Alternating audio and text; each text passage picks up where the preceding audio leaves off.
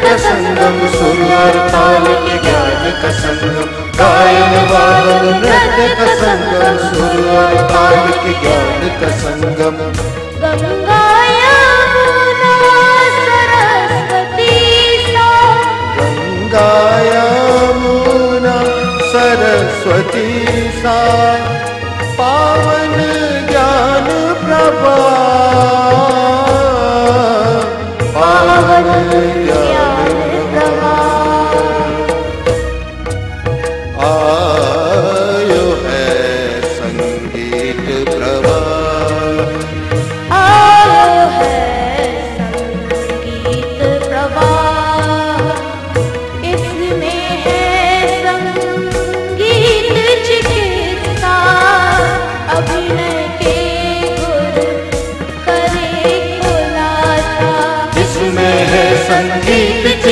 चिकित्सा के गुर करे खुलासा। इसमें है संगीत चिकित्सा। अभिनय के गुर करे खुलासा।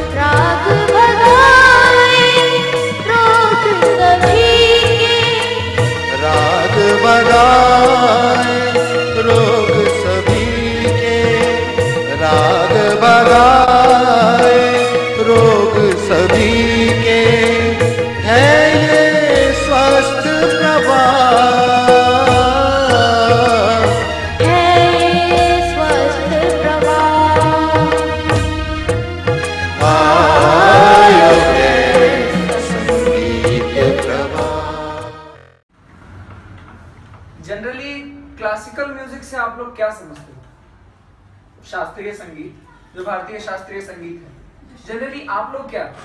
सब लोग यही समझते हैं शास्त्रीय संगीत को कि तानपुरा है, उसको लेके बैठे हैं और गायकी हो रही है इस पूरे विश्व में, पूरी दुनिया में जहाँ भी आप सीखने जाओगे, ऐसे ही लोग सिखा रहे हैं। तानपुरा गुरुजी ने ले रखा है। गुरुजी बैठे हैं, जैसे मैं यहाँ बैठा हूँ, मैं यहाँ बैठ गया, आपको ये जो भी इंस्ट्रूमेंट सामने पड़ा है कोई नहीं देगा। और आप ऐसे ग्रुप बना के गोले में बैठे हो। गुरुजी यहाँ अलंकार गवा रहे हैं, राग गवा रहे हैं, राग का कोई लाइन या कुछ भी गवा रहे हैं, गाना गवा रहे हैं और आप रिपीट कर रहे हो। ये हो रहा है पूरी दुनिया में, है ना? ये एक परिपाटी है, एक परंपरा है, क्या समझ लो इसको एक लोगों के मन में धारणा है कि शास्त्रीय संगीत ऐसे ही सीखा जाता है। शास्त्रीय संगीत मतलब गुरु जी बैठेंगे, राग गाएँगे, कुछ भी गाएँगे और हमको रिपीट करनी है ना?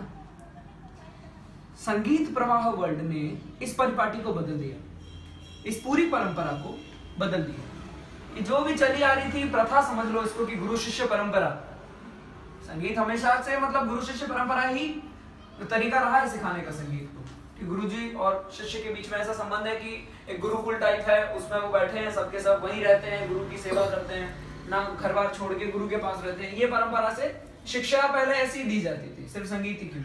है ना? सब जानते हैं ये तो कि जितने भी मुनि होते थे, ऋषि होते थे, ऋषियों के वहाँ सीखते थे, है ना? यही प्रक्रिया रहती थी घर छोड़ के वहाँ जाते थे गुरुकुल में, वहाँ रहते थे, आश्रम में।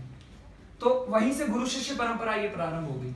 अब इसमें गुरु शिष्य परंपरा में ज्ञान भी है, विद्या भी मिल रही है, कला भी मिल रही है, आपको जो भी आप सीख रहे हो गुरु जी से, ठीक है? तो संगीत ऐसे ही सीखा जा रहा है आज तक। आज तक वही प्रथा चली आ रही है। रही तो गुरु शिष्य परंपरा लेकिन थोड़ा मॉडर्न हो गए और वो सब फैमिली हो गया तो वैसा नहीं कर पाते कि एकदम ही घर बार छोड़ के गुरु जी के आश्रम में रहे। और आजकल गुरु भी ऐसे नहीं रहे कि आश्रम वाले ठीक है? जो हैं फिर उनके पास जाते हैं तो कुछ लोग हैं जो ज़्यादा ही फिर इस फ़ील्ड में ही हैं एकदम शांति चाहते हैं मेडिटेशन चाहते हैं। वो वो बच गया पार्ट अभी तक। मेडिटेशन वाला पार्ट अभी तक गुरु शिष्य परंपरा का बच गया है। बाकी सब यहाँ मॉडर्नाइजेशन अर्बनाइजेशन इतना हो गया कि अब घर बार में रह रहे हैं फैमिली में रह रहे हैं और वो गुरु शिष्य परंपरा भी चल रही है। कि कुछ टाइम के लिए अपना घर छोड़ के आ गए, जैसे हमारे यूट्यूब से काफ़ी स्टूडेंट्स आते हैं, है ना? ऑल ओवर द इंडिया से। वर्ल्ड से भी आए हैं, लेकिन वो सब भी थे तो इंडियन ही है ना? तो आए और कुछ टाइम रहे, कुछ महीने, साल खान रहे, फिर वापस चले गए। तो वो भी एक तरह से गुरु शिष्य परंपरा ही रही कि वो सीख रहे थे, गुरु जी के पास रह ठीक है? तो मेन बात मैं ये बताना चाह रहा हूँ कि गुरु शिष्य परंपरा से जो संगीत सीखते आ रहे हैं, उसका तरीका यही रहा है कि गुरु जी बैठे हैं और वही आपको सिखाएँगे, ठीक है? अभी एक लेडी है। दिल्ली में हमारे स्टूडेंट है एक तो उन्होंने ये सवाल मुझसे किया। वहाँ पे कोई एक बहुत ही बड़ा विद्यालय है, संगीत का ही विद्यालय, मैं नाम नहीं लूँगा उसका। बहुत बड़ा विद्यालय है जाना जाना माना है दिल्ली में बहुत बहुत रजिस्टर्ड है ऐसा। तो वहाँ पे वो गए। उन्होंने बोला, उन्होंने हमको फ़ोन किया मैसेज भी किया कि, गुरुजी, हम लोग आपसे, आपके वीडियो तो देख ही रहे हैं और सीख ही रहे हैं, आपके जैसा तो कोई सिखा भी नहीं रहा वो सब उनको पता है। कि आप कितना बढ़िया सिखा रहे हैं और क्या आपकी परिपाटी है, क्या आपका सिलेबस है। लेकिन हमको रेगुलर क्लासेस भी चाहिए, क्योंकि हमारी जो हम गलतियाँ कर रहे हैं, वो कौन बताएगा हमको ये तो प्रॉब्लम आता ही है। अगर आप ऑनलाइन सीखते हैं तो ये सबसे मेन प्रॉब्लम कि अगर आप गलती कर रहे हैं, क्योंकि आपको नहीं पता आप क्या गलती कर रहे हैं तो वो क्या गलत कर रहे हो, क्या सही है, वो कौन बताएगा? उसको बताने के लिए कोई अगर रेगुलर क्लास होती तो है ना? तो उन्होंने बोला कि यहाँ पे है इंस्टीट्यूट तो वहाँ मैं एडमिशन मैंने फॉर्म भर दिया एडमिशन के लिए। और लेकिन मेरे को सिलेक्ट नहीं किया उन लोगों ने।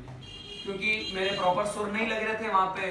मैं तो गा नहीं पा रही थी, मेरे सुर नहीं लग रहे थे। तो मैंने उनको बोला कि मैं हारमोनियम बजा के गा लूँगी, मैं दो तीन अलंकार थाट मुझे कुछ आता है, मैं वो सुना देती हूँ। तो उन लोगों ने कहा, नहीं हारमोनियम तो विदेशी इंस्ट्रूमेंट है, आप उसे हाथ नहीं लगाओगे। हम यहाँ हारमोनियम देते ही नहीं आपको सुनाना है तो कुछ तानपुरे पे सुना तानपुरा इंस्ट्रूमेंट रहता है, जिसमें तीन स्वर बजते हैं सा और सा वो बजते रहते हैं, बस, और कुछ नहीं बजेगा ये। सा प सा, ये लगा दिया, ये बजेगा उसमें और उसके बेस पे आपको गाना है, ठीक है? तो उन्होंने मना कर दिया कि नहीं, आप तो तानपुरे पे गाइए है ना? तो तानपुरे पे नहीं गा पाए तो इसीलिए वो सिलेक्ट नहीं तो उन्होंने मुझे बोला कि गुरुजी आपने जितने भी एपिसोड्स बनाए हैं, अब तक आपने 45 एपिसोड दे दिए वोकल पे, है ना? सिंगिंग पे तो रागे, ये पूरी किताब सिखा दी तो उसमें से 27 एपिसोड तक तो आपने हारमोनियम के साथ रागे सिखाई है, मैंने देखा। और अलंकार वगैरह सब हारमोनियम के साथ, जैसा कि आप लोग सब सीख रहे हैं। और 28वें एपिसोड में आपने थोड़ा वो एपिसोड उसी पर है कि how to sing with tanpura. कि तानपुरा के साथ कैसे गाया जाए? कि बिना हारमोनियम के हेल्प लिए सिर्फ़ दो स्वर लगा के, प और सा, ये दो स्वर लगा के कैसे गाते हैं? है ना? कैसे निकलेंगे गले से स्वर? वो हमने कुछ टेक्निक्स उसमें सिखाई और उसके आगे से हमने साप सापर ही सिंगिंग करी हारमोनियम त्याग दिया। क्योंकि क्लासिकल संगीत है ही ये तो मैं भी मानता शास्त्रीय संगीत मतलब होता यही है कि तानपुरे पे गाना। हारमोनियम पे नहीं होता शास्त्रीय संगीत कि आप बजा बजा के राग गा रहे हो उसको शास्त्रीय संगीत नहीं कहते। शास्त्रीय संगीत यही है कि तानपुरा चल रहा है और उस पर आप गायकी कर रहे हो। तो उन्होंने बोला क्या ये संभव है कि आपने जितना अभी तक काम किया है सत्ताईस एपिसोड क्या वो सब आप वापस तानपुर पे कर सकते हो क्या? ऐसा। उन, उन्होंने ये भी बोला कि ये शायद पॉसिबल नहीं होगा लेकिन तो भी अगर हो सके तो ट्राई करिएगा। तो इस चीज़ को मैंने उन्हें एक्सप्लेन करने के लिए वॉइस नोट दिया था व्हाट्सएप पे। कि ये जो मैं अभी आपको ये बातें समझा रहा हूँ, सब मैं उनको समझाई तो ये सजेशन उन्हीं का था मुझे कि आप ये चीज़ अपने स्टूडेंट्स को भी बताइएगा और वीडियो भी बनाइएगा, ताकि जितने भी दर्शक हैं आपके यूट्यूब पर जितने भी लोग जुड़े हैं आपसे, उन सबको भी सीखने को मिले, क्योंकि ये शंका रहती है। जैसे कि मैंने बताया जनरली लोग यही समझते हैं। अब रीजन क्या है हमारी परिपाटी बदलने का? है ना? अगर हमने परंपरा बदली है कि हमने तानपुरा नहीं दिया बच्चे को पहले, हमने हारमोनियम पकड़ाया माना ये विदेशी इंस्ट्रूमेंट है। भारत का इंस्ट्रूमेंट नहीं है हारमोनियम है ना? लेकिन हारमोनियम का यूज़ कैसे होता था पहले? शास्त्रीय संगीत में इसका प्रयोग तो हुआ है, तभी तो है ही। ऐसा तो कहीं नहीं देखा होगा कि अपने शास्त्रीय संगीत में हारमोनियम नहीं होता है। होता ज़रूर है लेकिन सिंगर लेके नहीं बैठता है। मैं गा रहा हूँ, मैं सिंगर हूँ, मैं गा रहा हूँ। या तो तानपुरा मैंने ले लिया, मैं बजा रहा हूँ और गा रहा हूँ। या मेरे साथ में साजिंदे बैठे हैं, वो बजा रहे हैं और गा रहे हैं। मेरे को सिर्फ़ सुर मिल रहा है और मैं गा रहा हूँ। और साथ में एक तबले वाला और एक हारमोनियम वाला भी रहता है। जो भी मैं गाऊँगा वो उसको बजाएगा ठीक है? लेकिन अब यहाँ मेन बात यह आती है कि म्यूज़िक स्पॉन्टेनियस होता है यानी कि उसी समय जन्म लेता है। स्वयं भू संगीत स्वयं भू होता है। सिर्फ़ एक लाइन होती है अपने पास वो लाइन अपन गा रहे हैं और फिर होता है अपना इलेबोरेशन है ना? पूरा डिस्क्राइब करते राग को जैसे मैं आप उस, उस दिन समझा रहा था कि आलाप तानों से डिस्क्राइब होता रहा है ना? तो डिस्क्राइब करते हैं। तो वो डिस्क्राइब क्या कर रहा हूँ वो तो उसी समय हो रहा है। स्पॉन्टेनियस है। किसी को नहीं पता क्या होना है। हारमोनियम वाले को भी नहीं पता। तो वो सुनेगा और साथ साथ में पीछे पीछे बजाएगा है ना इसको कहते हैं संगत। जैसे मैंने बोला आ, तो उसके पीछे बजा ऐसे ऐसे। एकदम पीछे पीछे चिपक चिपक के चलता है। एकदम घिसमा कि यहाँ मेरा सा लगा फिर उसका सा लग गया। जबकि मैंने सारे गामा साथ में लगाया तो उसने भी जैसे सारे गामा तो उसका यूज़ सारे गामा। ऐसा ऐसा चलता पैरेलल साथ में। तो ये यूज़ था हारमोनियम का पहले। हमने हारमोनियम इसलिए शुरू किया क्योंकि हमें लगता है कि जनरली लोग जो गुरु गुरुजी सिखा रहे हैं, वहाँ क्या हो रहा है? गुरु एक स्वर का माध्यम बन रहा है आपके लिए। कि गुरु के गले से जो कंठ से जो स्वर निकल रहा है, उस स्वर को आप पकड़ेंगे फ्रीक्वेंसी मैच करेंगे और स्वर निकालेंगे। अब हमने ये कर दिया कि पूरे टाइम गुरुजी बैठ के गाते रहेंगे गाते रहेंगे गाते रहेंगे। आप लोगों का क्या? आप तो दो घंटे के लिए आओगे, चले जाओगे। अगला बंदा आएगा, वो भी दो घंटे के लिए आएगा, चला जाएगा। तो पूरे टाइम बैठेंगे। तो ऐसा तो नहीं कर सकते, हम 24 घंटे गाते ही रहे, गाते ही रहे। ठीक है? एक रीजन ये भी है कि 24 घंटे गाते ही रहे हमारा गले का क्या होगा है ना? तो मतलब मैं बता रहा हूँ, ये टेक्निक कैसे डेवलप हुई, इसकी कहानी क्या थी? तो हम तो गाते रहेंगे, हमारा तो गला थक जाएगा ना। तो ऐसा क्या करें कि बच्चे को स्वर भी मिलता रहे और वो खुद भी गा ले। एक तीर दो निशाने हो जाएँगे, हमारा भी आराम हो जाएगा और वो भी इंडिपेंडेंट बन जाएगा। वो कभी गुरुजी के भरोसे नहीं। अगर अकेले प्रैक्टिस करनी होगी तो ये नहीं कि गुरुजी गाओ ना मेरे को रिपीट करना। है ना? खुद भी बजाएगा, खुद ही गा लेगा। दूसरा मैंने लगाया सारे। ठीक है, आपने भी लगाया सारे। मैंने बोला सारे। आपने भी बोला सारे। अब ये रे मैंने दो तरह से बोला। आपने सुना रिपीट किया। क्या फ़र्क है, ये नहीं पता ना आपको? कि रे की ऊंचाई पहली बार में सारे, रे रे रे। ये इतनी नीचे कैसे आ गई? और सा से तो ऊपर ही है, ये कैसे हुआ? ये आपको पता पड़ा? मैंने रिपीट कराया, आपने रिपीट किया जस्ट एक रट्टू तोता की तरह। मैंने बोला, बोलो मिठू। सामने से भी आया, मिठू, कोई फ़ायदा नहीं हुआ, उसको मिठू का मीनिंग नहीं पता तोते को। आप रट रहे रटे हुए तोते, है ना? लेकिन एक समय पे करते करते तोता इतना रट लेता है कि बोलने लग जाता है है ना? लेकिन तोते में दिमाग नहीं होता, बस इंसान में दिमाग होता है तो वो रटते रटते कुछ नया भी बना लेता है। लेकिन वो बहुत लॉन्ग प्रोसीजर है, उसमें वो स्वतंत्रता नहीं आएगी। आप अपने मन से वो नहीं कर पाओगे जितना एक हारमोनियम सीखा हुआ बंदा जो गले से निकालेगा वो नहीं कर पाओगे। वो स्वतंत्रता डिफरेंस आएगी। एक अभी मैं गया आपने सुना होगा नाम नारायण सेवा संस्थान। वहाँ कैलाश जी मानव है तो उन्होंने उनका पिताजी से परिचय है वो हमारी परीक्षा भी दे रहे हैं। तो प्रयाग संगीत समिति के हम दिलाते हैं ना तो वो परीक्षा दे रहे हैं तो म्यूज़िक भी सीख रहे हैं वो। काफ़ी एजड है लेकिन उनका उत्साह है कि वो सीख रहे हैं। तो अभी उनके यहाँ आज मैं जाके आया था आज हमको बुलाया था। तो वहाँ मैंने कुछ सुनाया, उनको सरस्वती वंदना और कुछ भजन सुनाया। तो उन्होंने भी ये बात बोली कि मैंने जनरली देखा है कि जो वादन करता है, वो गा नहीं सकता। और जो बहुत बढ़िया गाता है, वो बजा नहीं सकता। लेकिन आप में इतनी अच्छी कला है कि आप गायन और वादन दोनों को पैरेलल चला रहे हैं और साथ में कर रहे हैं, कितनी बड़ी बात है। ठीक है? तो संगीत प्रभाव वर्ल्ड में हर शिष्य ये कर सकता है। गाना बजाना दोनों पैरेलल और इतना भन्नाट कि मतलब कोई बता नहीं पाए कि ये वादक है कि ये गायक है। है कि नहीं? आपको हम दोनों दोनों पटरियों पर चलाते हैं साथ। कि आप बजाएँगे तो फिर लगेगा, यार, क्या हारमोनियम वादक है? और गाएँगे तो लगेगा, क्या बात है? क्या गायक है है ना? तो वो स्वर का डिफरेंस पता कैसे पड़ेगा? वो इंडिपेंडेंस कैसे आएगी? वो स्वतंत्रता कैसे आएगी? उस चीज़ के लिए हमने आपको साधन ये पकड़ाया है कि स्वर तो आपको मिल ही रहा है ना। तो ये जब आपने एकदम परफेक्ट हासिल कर लिया, इस पर हाथ जम गया तो गले से तो यूँ निकलेंगे। ऐसा होता है कि एकदम सीखने के बाद फिर जब आप गाते हो ना मन से तो ये कीबोर्ड इधर चलता है। दिमाग में। एकदम आँखें बंद करोगे तो कीबोर्ड नज़र आएगा। फिर जब सारे गा मा नहीं सर, ऐसे लगाओगे तो बजते हुए नज़र आएँगे उधर। तो अपने आप जो चलेगा ना इधर, वो इतना परफेक्ट और एकदम प्योर तो इसीलिए हमने हारमोनियम पकड़ा जो परिपाटी बदली, इसीलिए हमारी ये यूनिकनेस है। जनरली जो भी लोग सिखा रहे हैं ना, हम तो साफ़ कहते हैं वो गलत सिखा रहे हैं। और दूसरी चीज़, उनके पास उनका सिलेबस नहीं ये जो किताब है ना स्वरांगिनी ये ये किसी के पास नहीं ये हमने रचना की है इसकी। ये जो चीज़ें अंदर हैं ये हम कहीं नई नहीं लाए हैं। सब संगीत की है। सब जानते हैं। लेकिन कैसे सिखाना है? किस ऑर्डर में सिखाना है? ये नहीं पता किसी को। सिलेबस सबसे मेन होता है सिलेबस तो। एजुकेशन में अगर सिलेबस नहीं है मतलब कुछ भी सिखा दोगे क्या? ट्वेल्थ की पढ़ाई पहले हो रही है एबीसीडी बाद में हो रही क्या सीखेगा बच्चा? मतलब जो भी एग्ज़ाम कराते हैं ना इंस्टीट्यूट जनरली वो जो सिलेबस देते हैं सारे म्यूज़िक इंस्टीट्यूट उसी सिलेबस पे चलते हैं। तो कहीं भी चले जाना। राग यमन, राग भूपाली। नाम याद कर लो, यही सिखाएँगे आपको पहले। सीधी यही दो राग सिखाएँगे। राग यमन, राग भूपाली। एक तीव्र स्वर वाली है और एक जिसमें स्वर छोड़ के लगाए जाते हैं। बताओ, पहले प्योर नोट्स ही नहीं सिखाए। सारे स्वर लगाना ही नहीं सिखाए। और आप पाँच स्वर वाला राग सिखा रहे हो। राग तीन प्रकार के होते हैं। सात सुर, छह सुर और पाँच सुर। मिनिमम पाँच होते हैं और मैक्सिमम सात। ठीक है? तो सात सुर वाला पहले सिखाना चाहिए। और स्वर भी तीन प्रकार के। शुद्ध, कोमल, तीव्र। उसमें शुद्ध पहले सिखाने चाहिए। अब आप तीव्र वाला पहले सिखा रहे हो और मतलब पाँच स्वर वाला राग पहले सिखा रहे हो, ये क्या सिस्टम हुआ? ये कहाँ का हुआ ये? ये सिलेबस पता नहीं जिन्होंने भी बनाया, जिन भी ऋषियों ने बनाया, जिन्होंने भी ये लिखा, वही फॉलो करते जा रहे कोई लॉजिक नहीं लगाया उसमें कि ऐसा क्यों? जो थाटों का क्रम है ना, इसमें आप जो दस थाट देख रहे हो, ये क्रम किताबों में नहीं है। ये क्रम पिता, पिताजी ने सेट किया है।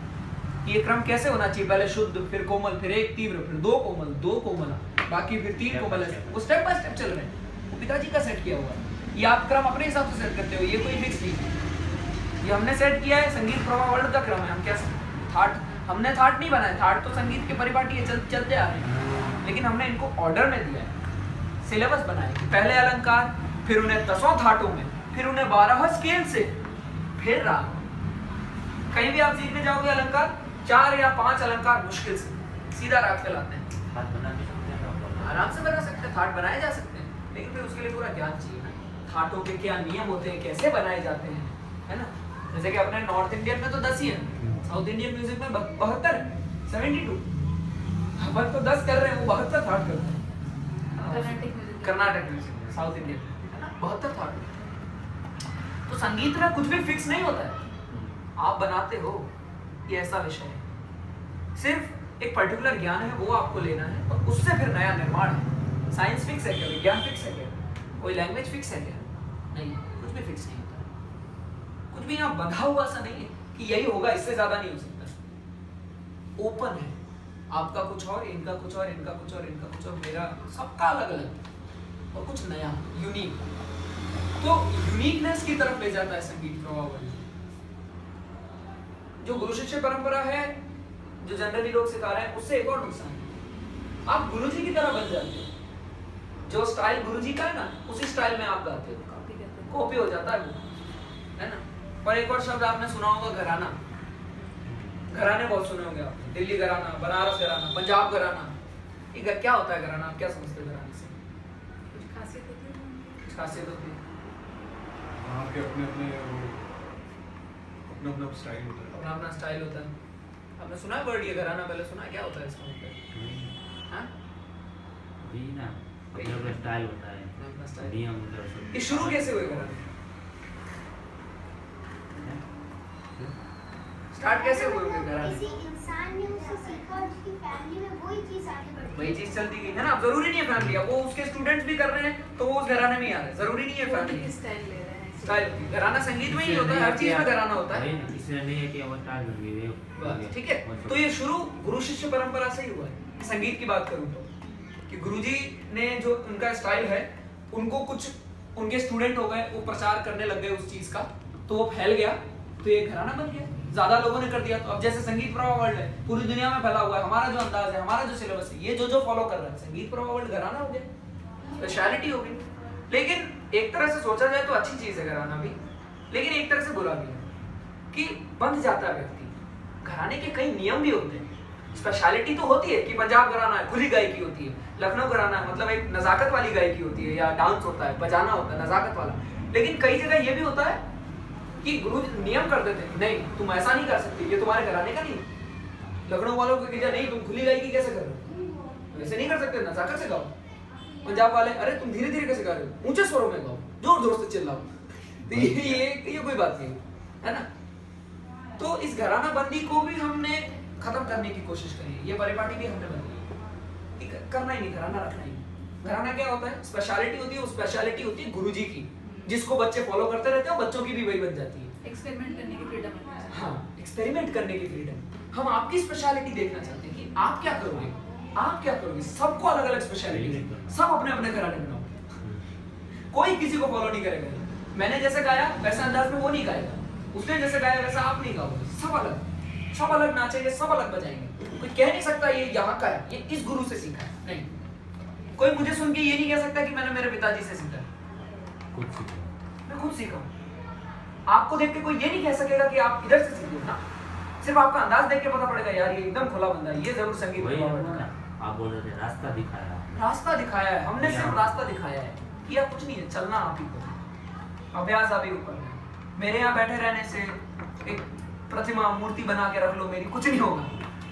करना आप ही को नहीं करोगे कुछ नहीं मिलना। अभ्यास ही गुरु है। मूल मंत्र है हमारे इंस्टीट्यूट के याद रखना इनको। तो ये अभ्यास ही गुरु है व्यक्ति ही स्वयं का गुरु है। संगीत स्वयं वो है उसी समय जन्म लेता है। कोई भी क्लासिकल का प्रोग्राम होगा ना अगर उन्होंने किसी ऐसी जगह पे प्रोग्राम दिया है, जहाँ संगीत के जानकार कम है, मान लीजिए कोई क्लासिकल का आर्टिस्ट आया स्कूल में आया तो ये चीज़ ज़रूर बोलते हैं कि बच्चों, ध्यान से देखना, मैं जो भी बजाने वाला हूँ, वो यहीं जन्म लेगा, वो यहीं बनेगा आप लोगों के सामने, पर यहीं आप ही लोगों में बट जाएगा। वो ना मुझे याद रहेगा, आप लोगों को याद रह जाए तो रह जाए। ये है कलाकारी का कि मैंने बनाया, मैं भूल गया। क्योंकि मैंने अगर उसे याद रख लिया तो तो वो मेरे दिमाग में सेट हो गया। फिर अगर कुछ नया आता है तो वो डिस्टर्ब करेगा। तो ये डिस्टर्बेंस होगा वो पुराने ज्ञान से। इसलिए एकदम ब्लैंक रखो अपने आप को। बनाया, दे दिया। बनाया, दे दिया। अपने पास नहीं रखना है, कुछ भी नहीं रखना आप बनाते बनाते याद रखोगे तो ये मेमोरी फुल हो जाएगी। इस मेमोरी को एम्प्टी करना है। इस मेमोरी में सिर्फ़ वो वो चीज़ें रखने ये फ़ंक्शंस बेसिक फ़ंक्शंस कि थाट, अलंकार, स्वर, ये क्या है? लय, ताल, ये क्या है? इतना समझ लो, बहुत है। उसके बाद निर्माण करो। सृजन करो। सृजनता की शक्ति देता है संगीत प्रभाव सृजन कोई नहीं करा सकता। है एक और सेंटेंस हमारी एसपीडब्ल्यू का, कि वी क्रिएट क्रिएटर्स है ना? हम सृजनकारों का सृजन करते हैं, कि जो बनाता है, हम उनको बनाते हैं। ये नहीं, हम फॉलोअर्स नहीं क्रिएट करते। We don't create followers we create creators creators बनाते हैं। और क्रिएटर आप तभी बन पाओगे जब ये ग्रामर कंप्लीट होगा। इसमें कोई आलस नहीं।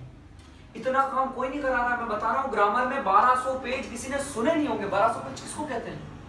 लेकिन जो कर गया, वो आगे पहुँच जाता है। और वो कुछ भी कर सकता है। आप ये मत लिमिट रखना अपने दिमाग में कि मैं इंडियन क्लासिकल सीख रहा हूँ तो मैं आगे जाके वेस्टर्न लाइन नहीं पकड़ सकता। आपका माने वेस्टर्न जैसे आप कर रहे हैं डीजे जान रहे हैं, आप कीबोर्ड बजाना चाह रहे हैं, आप जा सकते हैं। खुला है रास्ता आपके लिए। मैं कह रहा हूँ, इसके बाद दिमाग बहुत शार्प हो जाता है।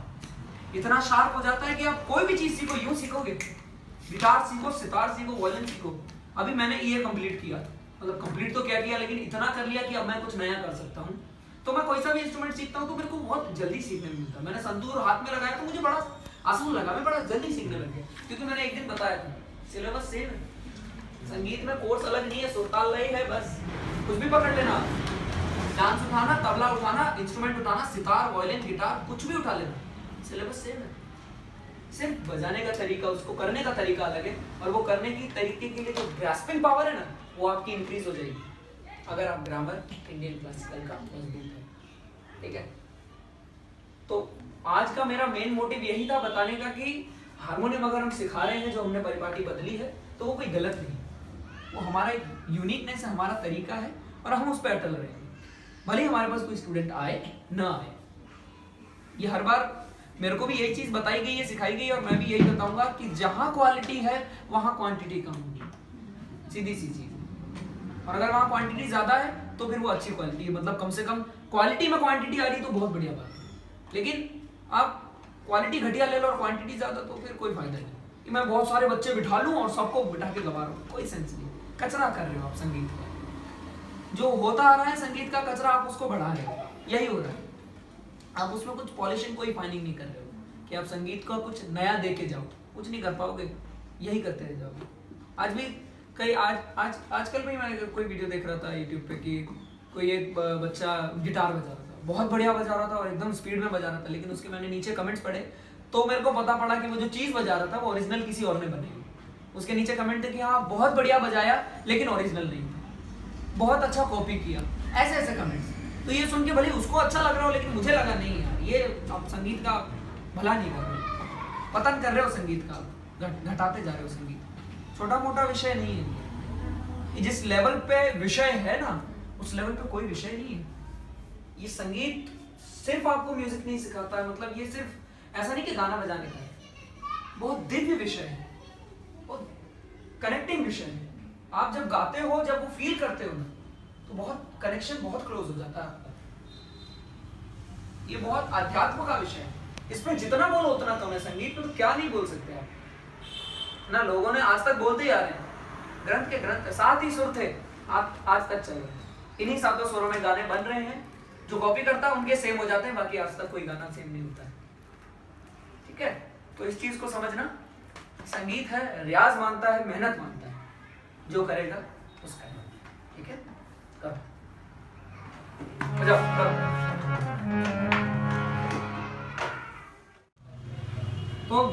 मेन सवाल ये है कि सांस कैसे ले?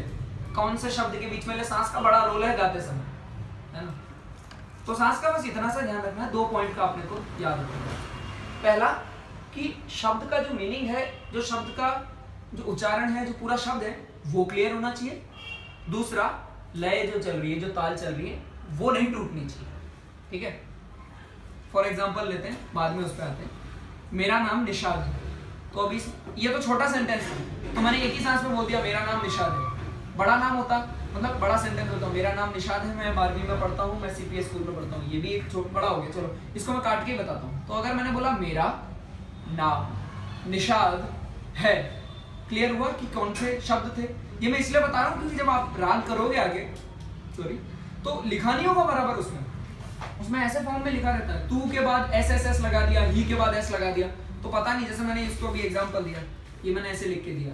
और पूछा कि ऐसे इसका सेंटेंस क्या बन रहा है तो इसको पता पड़ेगा कि मेरा नाम प्राची है। प्रिया। नाम याद नहीं होता हैं? वो तो अलग के लिए होता है लेकिन ये क्लियर कैसे होगा कि शब्द क्या है टोटल नॉर्मल लिरिक्स ढूंढोगे गानों की तो लिखी पड़ी। उसको पढ़ोगे गा दोगे। लेकिन अगर वो ऐसे लिपिबद्ध है लिपिबद्ध समझते हो कि नीचे स्वर भी लिखे कि उनको गाया कैसे जाता है? नहीं, ये लिपि, स्वर लिपिबद्ध तो कैसे पता पड़ेगा? है ना? और इसमें रहता है कि हर शब्द के बाद ही सांस लेना। ऐसा नहीं कि मैंने बोल दिया कि मैं, राना मनी शाद है। तो कुछ क्लियर हुआ? मैं क्या कहना चाह रहा था? कुछ क्लियर नहीं हुआ। मेरा पॉज नाम पॉज निशाद पॉज है। है ना? अब ये तो छोटा था, इसीलिए मैंने ज़्यादा पॉज नहीं किया। मेरा नाम निशाद है, बोल दिया। ठीक है? अब मैं इसको यहाँ लेता हूँ। पहले वर्ड का ही क्लियर करता हूँ, फिर लय पे आते हैं। कि यहाँ पे जैसे लाइन है कि तू ही आधार, सकल, त्रिभुवन, को। तो इसकी कंपोजिशन यूँ है। तू ही आधार, सकल, त्रिभुवन, को। ठीक है? पूरा एक ही फ्लो में बोल दिया। ठीक है? पहली बार अगर सुन रहे हो, बिना शब्द जाने तो आप पता नहीं कर पाओगे क्या शब्द चल रहे हैं। तो मैं कैसे गाऊँगा इसको? तू ही आधार सकल त्रिभुवन को। मैंने पॉज दिया हल्का सा। लेकिन आपने नोट किया कि मैंने पॉज ज़्यादा लंबा नहीं दिया उतना ही दिया जितना मैं सांस ना छोड़ के भी दे रहा था। तू ही आधार सकल त्रिभुवन कितने मात्रा में वो होगा उसके बाद पता नहीं चलना चाहिए। पता नहीं चलना तो- चाहिए कि आपने वो छोड़ी क्योंकि अगर आपने सांस ज़्यादा ले ली मान लीजिए कि वो बारहवीं से उठता था हाँ, और आपने ग्यारह पे आकर सांस लेना शुरू कर दिया तो वो अक्षर तेरह से शुरू कर रहे हो तो वो बराबर थोड़ी आएगा। बारह से ही उठाना था उसको। तेरह से नहीं उठाना था। तो आपने अगर यहाँ बारह छूट गई निकल गई और आपने सांस ले लिए तो फिर इंतज़ार करो कि दोबारा बारह आएगी। पहला तो ये कर सकते हो कि दोबारा बारह आए तब मैं वो लाइन शुरू करूँ। या फिर जहाँ पर आ गए हो वहाँ पे क्या शब्द आता है उससे शुरू हो जाए। जैसे तू ही त्रिभुवन। उतनी मात्रा मैंने छोड़ दी क्योंकि मेरी सांस कम पड़ गई। तो चलो पहला तो ये था कि मैं पूरा इंतज़ार करता कि पूरी बज, बजती लाइन मात्रा आती फिर मैं शुरू करता। और दूसरा ये करता कि मैंने उतनी बीट ही छोड़ दी और मैंने उसकी जहाँ जिस बीट से मैंने वापस सांस मेरी आ गई कंफर्टेबल वहाँ से मैंने बोलना शुरू कर दिया। तो यही चीज़ मैं अभी इसको समझा रहा हूँ कि शब्द पहले तो क्लियर कर दिए कि ऐसे लिखे हैं तो एक बार आप अपनी मर्ज़ी से बताओ मुझे कि आप उनको पढ़ के क्या लगता है तो इसने लिखे। तो इसमें कुछ शब्द थे जो अलग अलग नहीं होने थे, साथ के थे। जैसे इसने लिखा, पालक, सचरा, चरभू, चरभूतन और को ऐसे लिखा है, जबकि वो होना चाहिए पालक, सचराचर भू तन को। कि सचराचर यानी चर, अचर, दोनों के साथ में। यानी चरने वाले और ना भी चरने वाले, यानी लिविंग एंड नॉन लिविंग है ना? भू धरती तन यानी शरीर हम। तो सचराचर भू तन ऐसे होना चाहिए था। अब यहाँ लिख दिया सचरा चर है ना? ये जनरल मिस्टेक होती है कई बच्चे करते हैं टेंशन मत लेना तो फिर आप गाओगे भी वैसे है ना? कि हम्म, तू ही आधार सकल त्रिभुवन को पालक सचरा ऐसे गाते बच्चे। क्योंकि यहाँ पे थोड़ा गैप है। सचरा नीचे आता है और फिर चर सीधा ऊपर आता है। तो क्या सोचते हैं कि वहाँ सांस ले लेंगे ताकि पूरे फोर्स के साथ ऊपर ले लेकिन ऐसा नहीं अगर आपने वहाँ सांस ले ली तो शब्द टूट गया। है ना? तो यूँ हो जाएगा।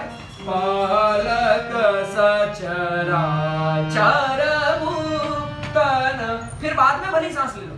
अगर सांस ज़्यादा खींचनी पड़ रही तो बाद में छोड़ के सांस ले लो। शब्द के बाद में। है ना?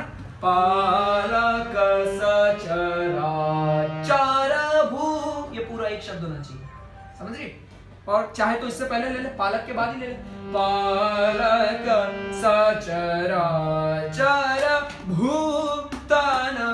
ज़रूरी नहीं है कि हर शब्द के बाद भी सांस लो, बड़ा अजीब लगता है कि कैसे कट कट कट कट गिरेगा वो फ्लो नहीं बनता है। है ना? इसलिए कम जगह सांस लेनी है, लेकिन जहाँ लेनी है, वहाँ शब्द का ध्यान रखना है और ताल का। ये बड़ा सवाल रहता है कि सांस किधर लेनी है और कैसे लेनी जैसे अभी मैं ये पूरा ख्याल अगर तेरे को सुनाऊँगा कि ही आधार। अब इसमें क्या है? धा पे सम आता है, आ पे सम नहीं आता है। तो तुम इसको ऐसे नहीं गाओगे कि तू ही आ धा ऐसे गाते बच्चे। जबकि आधार पूरा एक ही शब्द है है ना? उसमें पहली जो एक बीट है ना, वो सेकंड वर्ड पे लग रही है, धा पे लग रही है, आ पे नहीं लगती। सोलह मात्रा चल रही है तो तेरह, चौदह, पंद्रह, आ, धा। धा पे उसका सम आ जाता है यानी वहाँ से ताल शुरू होती है कि तू ही आ धा र स यूँ उठती है। तो आप ये नहीं करोगे कि आ धा ऐसा नहीं वो पूरा एक फ्लो में जाना चाहिए। भले वो सम है तो क्या सम है तो सम दिखाओगे। पहली मात्रा को हमेशा ज़ोर से ऐसे गा, गाते हैं ताकि पता पड़े यहाँ से ताल शुरू होगी है ना? ये सब आपके आगे का कोर्स है पूरा है ना? ये सब आपके आगे का मतलब जहाँ से राग शुरू की जाती है। जहाँ से राग शुरू जहाँ से ताल शुरू होती है है ना? तो वहाँ पे सीधी सी बात है राग भी वहाँ पे आ जाएगी घूम फिर ना तू ही आधार। मैंने क्या किया? ही के बाद ही सांस ले ली। थोड़ी सी, हल्की सी ले ली, है ना? तू ही आधार सकल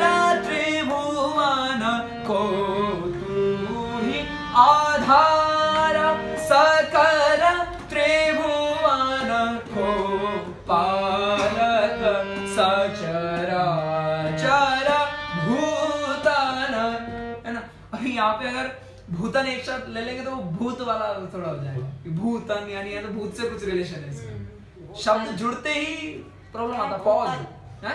भूतन। भू तन। भू यानी धरती तन यानी शरीर। हो जाएगा तो भूत। हाँ एक हमको बचपन में पढ़ाया करते थे जब हिंदी हमारे व्याकरण थी तब ये अल्प विराम और पूर्ण विराम तो उसमें रीडिंग का हमको सिखाते थे कि कहाँ पॉज देना है कहाँ नहीं। तो उसका बड़ा अच्छा एग्ज़ाम्पल था कि ठीक है रुको मत जाओ ये तीन शब्द है। पॉज बदलते ही मीनिंग बदलता है। रुको, मत जाओ। या रुको मत, जाओ। तो ये बड़ा अच्छा एग्ज़ाम्पल था। तो इससे हमको तभी से ये ज्ञान हो गया कि कहाँ पॉज लेना है, कहाँ नहीं लेना है। अभी यहाँ पे अगर भू के बाद सांस लोगे तो वो भू और तन अलग अलग है। लेकिन एक साथ मिला तो भूतन। तो भूत, पिशाच ऐसा कुछ। क्योंकि ऐसे भी तो शब्द होते हैं। पालक सचराचर भूतन को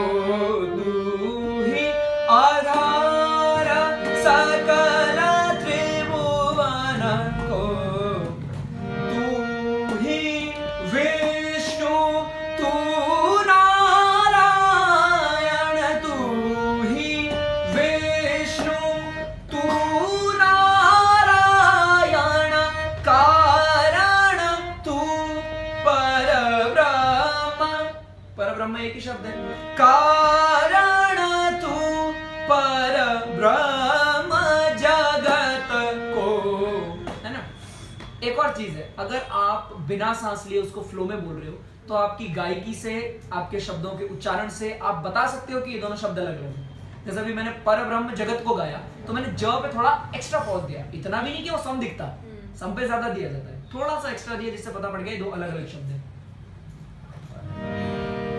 कारण तू परब्रह्म।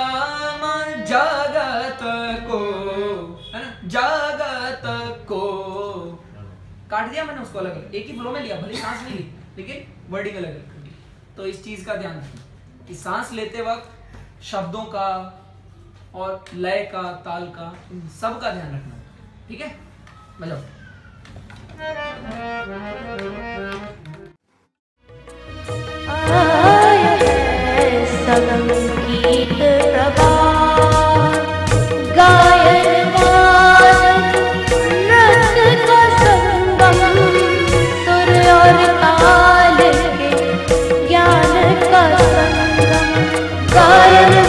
वादन नृत्य संगम सुर और ताल के ज्ञान का संगम गायन वादन नृत्य संगम सुर और ताल के ज्ञान का संगम गंगा यमुना सरस्वती सा गंगा सरस्वती सा पावन ज्ञान प्रभा